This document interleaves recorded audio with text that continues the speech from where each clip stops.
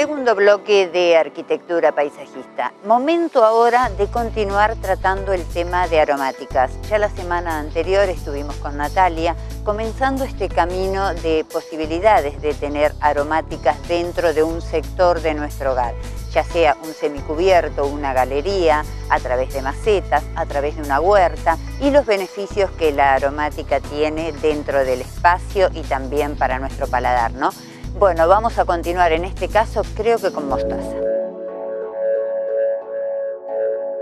Eh, bueno, buenas tardes. Eh, yo soy Natalia Santequia, técnica forestal, y bueno, vamos a seguir un poco con eh, la siembra de plantas aromáticas y medicinales. acá tenemos semillas de mostaza blanca. El nombre científico es Synapsis alba. También existe la mostaza negra cuyo nombre científico es Brassica nigra, y la mostaza de la India, que se le dice, el nombre científico es Brassica juncea. En realidad eh, pueden utilizarse con fin, digamos, condimenticio eh, los tres tipos de, mostaza. ¿sí? En nuestro país se utiliza mucho la mostaza blanca. Bueno, vamos a sembrar eh, las semillas de mostaza. si queremos las podemos dejar un día en remojo porque la semilla se va a hidratar y después cuando la sembremos va a germinar en forma más rápida. La mostaza también es una planta anual eh, que puede alcanzar hasta un metro de altura. Eh, tiene una flor amarilla muy bonita. Eh, en la provincia de Buenos Aires encontramos que la mostaza crece en forma adventicia. ¿Esto qué significa? Que crece sin que nosotros la sembremos. Acá coloqué unas semillas de mostaza y luego las cubro con un poquito de tierra. Nunca me tengo que exceder, porque si no la semilla después eh, no germina. Una vez que la cubrí con tierra, presiono, compacto un poquito y riego. Las semillas eh, de mostaza se utilizan desde la antigüedad, ¿sí?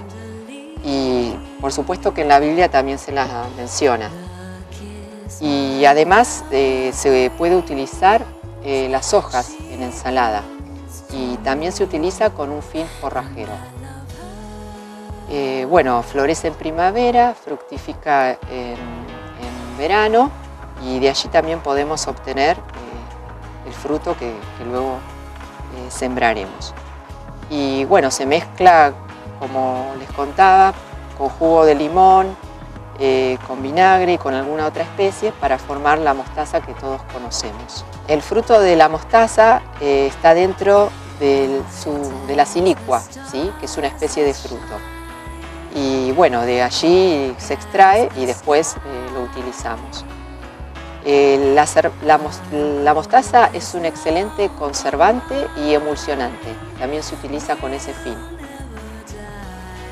Si ustedes eh, así lo desean, se puede proteger la semilla de mostaza, eh, porque cuando las plántulas son muy jóvenes, por ahí la helada puede afectarlas, eh, con tela antihelada o si no, bueno, en un lugar reparado o con una cubierta de vidrio.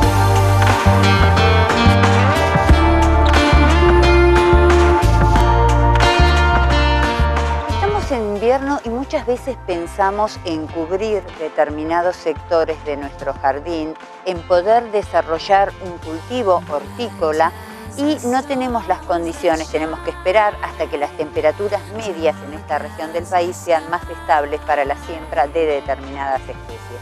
En el día de hoy nosotros les vamos a contar a todos ustedes cómo hacer un invernáculo, un invernadero y poder trabajar tanto en el cultivo de ornamentales, como sí también en el cultivo hortícola. Todo esto lo vamos a desarrollar junto a Gabriel. Agronomía Malicia, insumos para viveristas, paisajistas, Don Bosco 2705, teléfono 488-2686. un invernáculo o un invernadero es una estructura que se utiliza para eh, protección de cultivos. De lo que lo protegemos habitualmente son de la rigurosidad de, del ambiente, ya sea desde lo climatológico o desde lo físico. Eh, inicialmente la, idea de los invernaderos surgió ante la necesidad de eh, maximizar las producciones. los invernaderos surgieron Eh, en Europa, todos es, es, sabido que bueno, tienen poca superficie cultivable, entonces trataron de maximizar lo que es la producción. Entonces empezaron a implementar este tipo de estructuras para maximizar producción de calidad en el menor tiempo posible porque lo que hacen conjunta, eh, justamente estas estructuras es eh, aumentar no solo la calidad, sino los tiempos en los que se produce, debido a que tenemos una atmósfera en cierta forma controlada.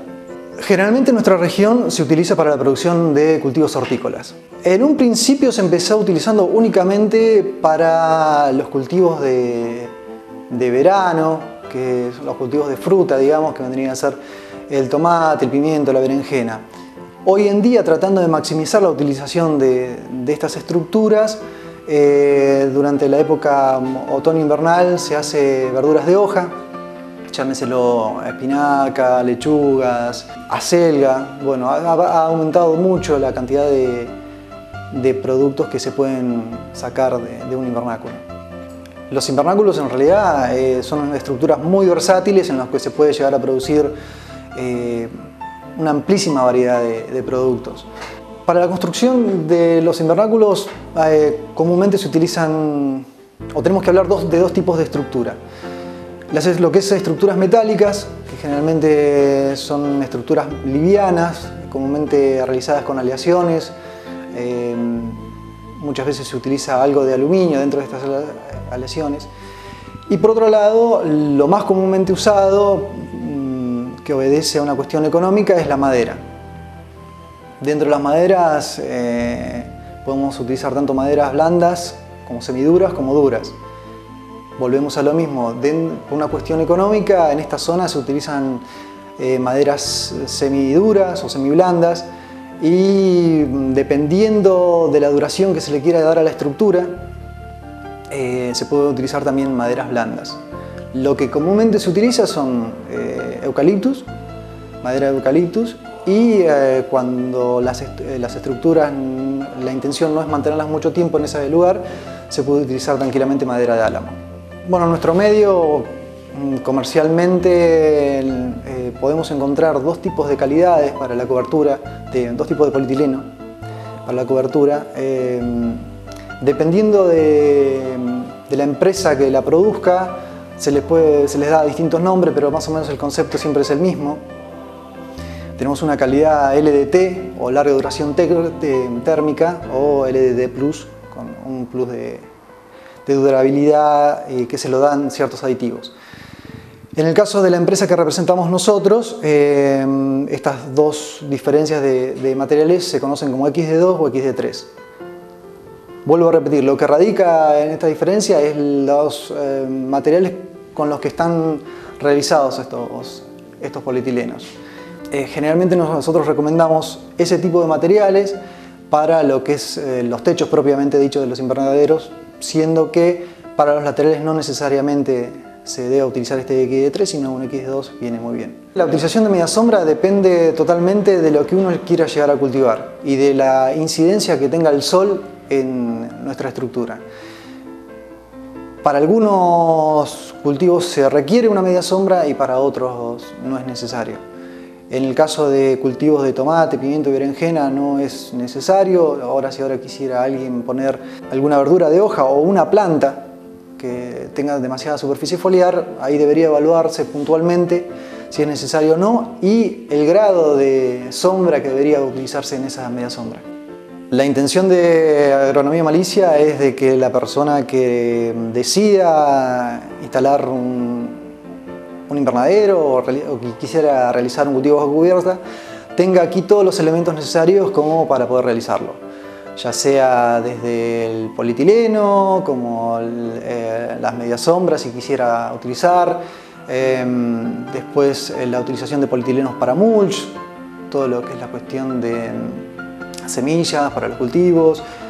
Eh, y bueno, después tratamos de prestar un asesoramiento técnico lo más responsable posible eh, y bueno, toda la gama de, sustratos después para la, producción de plantines, de bandejas, este, macetas.